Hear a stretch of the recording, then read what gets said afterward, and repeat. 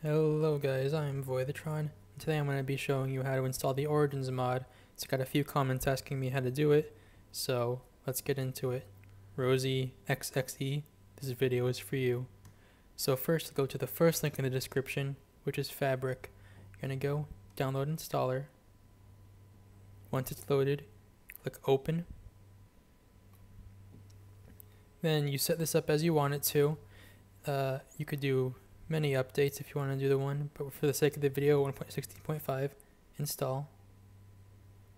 And that's done. So that's step one done.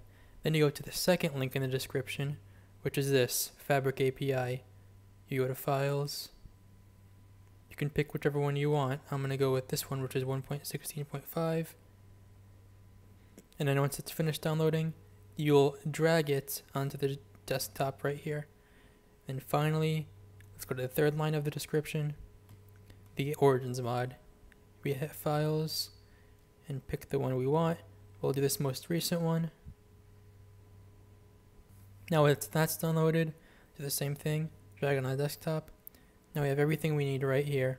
Next thing we're going to do is go to our search bar, percent, app, data, into the search bar in the bottom corner just like that, and hit enter.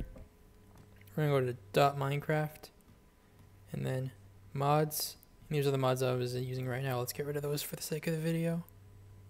And we'll put Fabric API and Origins in here, then close it. Now we're gonna open Minecraft Launcher. If Fabric was installed correctly, then this will pop up, your Fabric Launcher. You'll specifically click this one, and then hit play.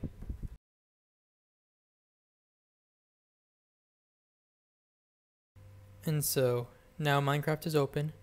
Let's see if this worked. Single player, create new world.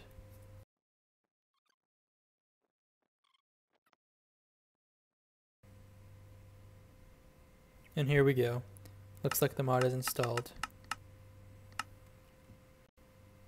Everything is fine. And that is how you install the Origins mod. So I hope that answered any questions anybody had. Uh, I hope you're seeing this Rosie XXE, because your comment is the reason I made this video, along with a few others. And, as always, outros are hard.